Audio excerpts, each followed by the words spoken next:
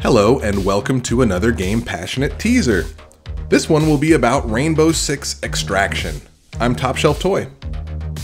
Developed by Ubisoft Montreal and released in January of 2022, this is an online multiplayer tactical shooter for any Rainbow Six operators looking to defend the globe from a nasty parasite invasion.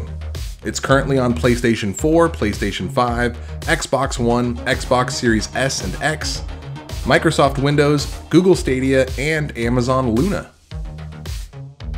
Extraction is the latest development in the Rainbow Six universe.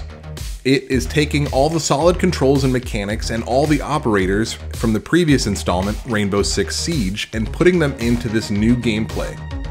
Stealth is key, it's not a run and gun shooter, it pays to be tactical and use your abilities and work with your teammates. There's a constant sense of tension, and missions are meant to be get in, get out. You're in a hostile zone. There are four different zones split up into 12 primary levels. After you and your teammates have chosen your operators, you will drop into one of these levels.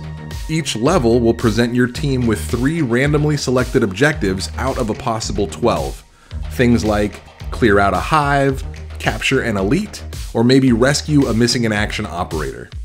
When you complete your objectives, your team then has to decide to press on or to return to base.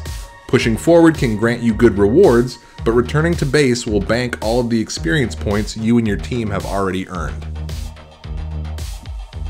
Rainbow Six Extraction offers a fun and different take on the solid gameplay and mechanics of the Rainbow Six franchise. The tense situations and dire consequences, like losing access to your operator if you're overwhelmed, keep the missions suspenseful. Because of its online nature, it's best enjoyed with friends who can help you strategize and cover your six. Do you play the Rainbow Six games?